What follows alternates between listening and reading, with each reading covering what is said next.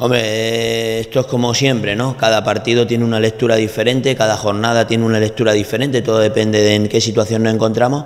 Evidentemente que este partido para nosotros es muy importante porque si queremos darle valor al punto que se consiguió la, jornada pasada eh, pasa por, ganar en Castellón. ¿no? Si, ganamos en Castellón ese punto será, será muy muy bueno, si no ganamos en Castellón el esfuerzo del partido ese no, no, tendrá validez. ¿no? Y a partir de ahí, pues teniendo en cuenta el objetivo que tenemos, pues nosotros tenemos que intentar sumar de tres en tres.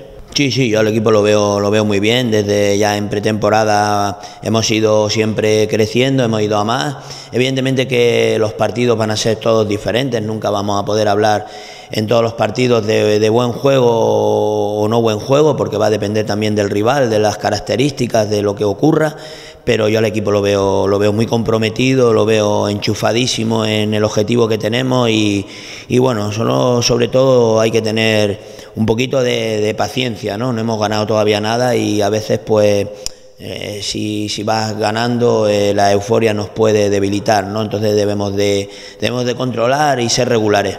Pues van a pasar sobre todo de defender bien la estrategia, son un equipo que tiene muchas variantes en la estrategia a nivel tanto de córner como de banda y las finalizan todas, crean varias opciones de, gol.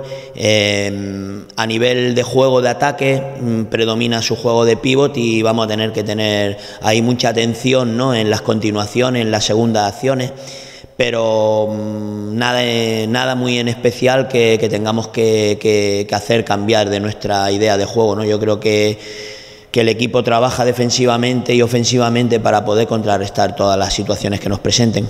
Ya lo he dicho siempre, ¿no? Lo de la temporada pasada de Burela es excepcional. Yo creo que no ocurre habitualmente en muchas temporadas y ocurrió, ocurrió la temporada pasada, ¿no? Yo creo que va a ser una, una liga en la que sobre todo hay que tener ahora al principio paciencia porque se mira mucho la clasificación y solo se han jugado solo se han jugado seis puntos, ¿no? Entonces, cuando tú has jugado solo seis puntos y miras la clasificación eh, te, equivocas, ¿no? Porque estamos hablando de que si un equipo ha ganado una jornada y el otro equipo lo ha perdido, la diferencia es de tres puntos, pero es normal, solo se han jugado dos jornadas, ¿no? Entonces vamos a tener paciencia, es muy importante, no mirar la clasificación, tenemos que estar arriba en el momento que tenemos que estar arriba, lo que no podemos hacer es desengancharnos de esa igualdad, de ese momento que vamos a tener, que como tú bien dices, no, no hay un claro dominador y tenemos que estar ahí frescos, vivos, estar conviviendo en esa zona, en esa zona alta para que cuando llegue el momento de pegar el, estirón estemos preparados.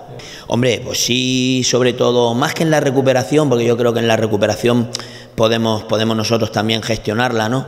Más en, pues en los golpes, en las pequeñas, no lesiones, pero sí esas pequeñas molestias que impiden al jugador incluso recuperarse rápido para el siguiente partido. No te voy a decir que no, pues sí, porque además son partidos exigentes, con equipos muy exigentes y nosotros mismos somos muy exigentes, ¿no? Entonces sí que ahí puedo tener ese puntito de, de preocupación pero también es verdad que tenemos una plantilla amplia, con muchos recursos y creo que podemos combatir cualquier situación.